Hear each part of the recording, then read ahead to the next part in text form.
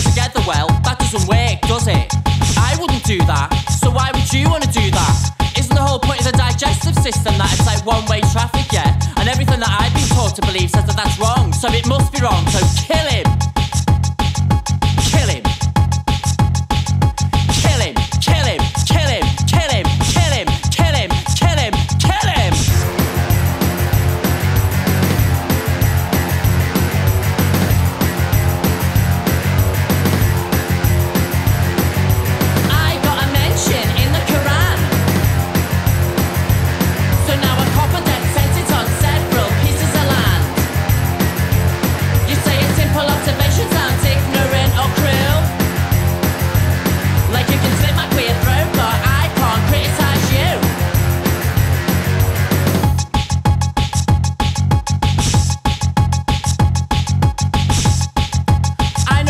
thinking.